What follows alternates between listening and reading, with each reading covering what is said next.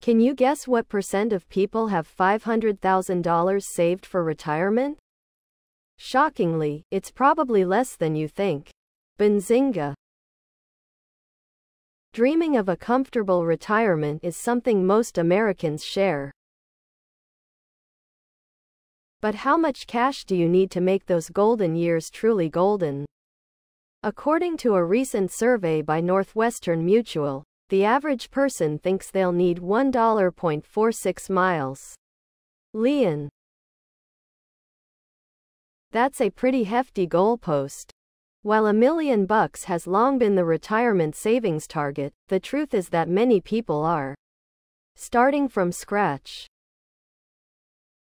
But what about those who've saved a substantial chunk of change?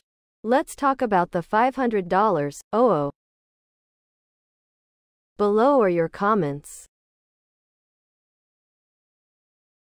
What Benzinga should be looking at is what percentage of people in the U.S. between the ages of 55 to 65 H.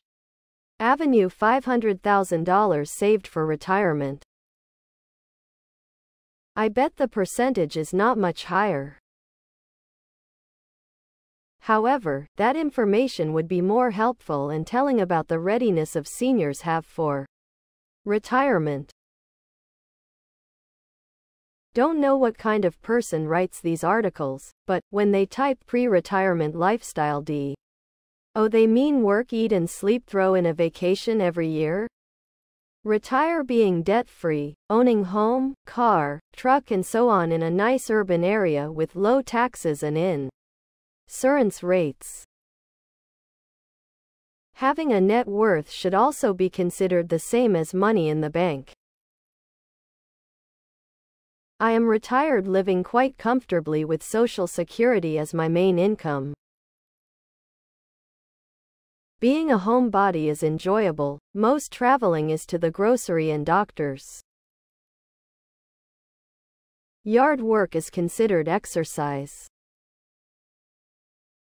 The percent of people who have saved $500,000 isn't very meaningful, because that statistic is lumpy.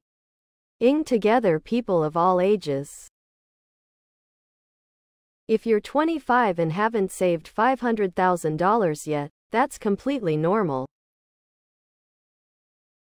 You would have to be a superstar retirement saver to have that much money at age 25.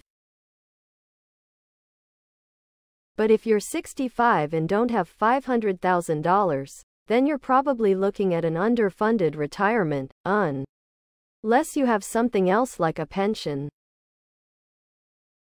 Meaningless analysis if the 9% includes every household in the US. Why? Not too many average 20 something year olds saved $500 grand for retirement. Thanks Benzinga. Dot. The real question is how old are these families? Dot. Please subscribe to my channel. And if you like it, please thumbs up.